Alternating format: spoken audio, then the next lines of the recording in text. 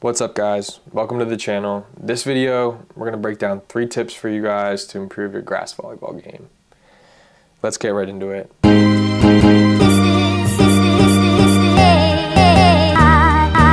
Tip number one, it's really important on defense to focus on being in the balls of your feet.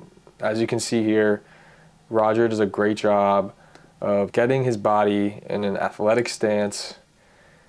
So he's going to shuffle, get in a good stance, nice and low, keep his arms in front of him, and make a play on this ball. And that's going to get you a dig probably 7 out of 10 times just from being in good positions, staying low, and keeping your hands in front of you. Here's another example of getting your body in a good position. Anna's backpedaling and shuffles into a good spot and gets her hands out in front of her and makes a good touch on the ball.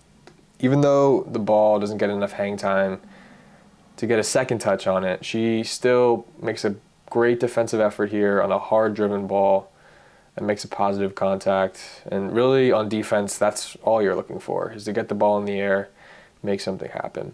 Here's another example of why it's important to be on the balls of your feet and on your toes on defense. As Casey is able to find a shortcut shot because Ali is standing straight up, not on the balls of his feet, not in, not in an athletic position, unable to make this dig.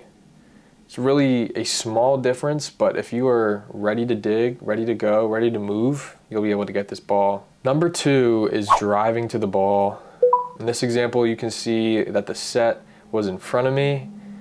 I was able to identify it and see it and then take two quick steps and really make a good attack on it.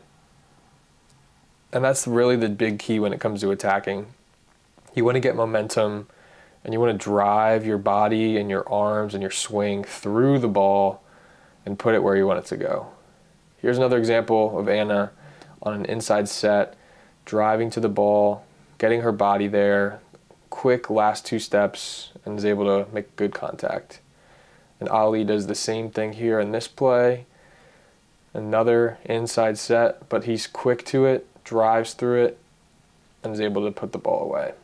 All right, number three, angling your platform. You can see here Anna does a great job of shuffling to the right, getting her platform in front of her, and angling her target to the setter. That's what we're looking for on serve receive. Angling your platform, getting it square and really letting the ball do the work and moving it to the setter. If you can get your platform set, angled to where you want to go, it's really going to make things a lot easier in serve receive. All those people that have struggles in serve receive, trying to get square to this position right here, where your feet are set and your platform is angled to the target, this is what we're looking for. Here's another example Abby with a really textbook pass here. She's down, she's athletic, and she's angling her, her platform to the target and makes a great pass. And here's one last example of why it's important to angle your platform. Sometimes you can't always be square to the ball if it shifts, so I raise my foot to get a better angle towards my target, and as you can see, it's going to end up with a good result for the setter and the attacker. That's all I have for you guys today. Hope you enjoyed these three tips. Make sure to apply them to your game, and happy volleyball. Later. Rookie, I tell her look up cause it's snowing in Tussies. But for three years, man, you can't. okay, it's okay.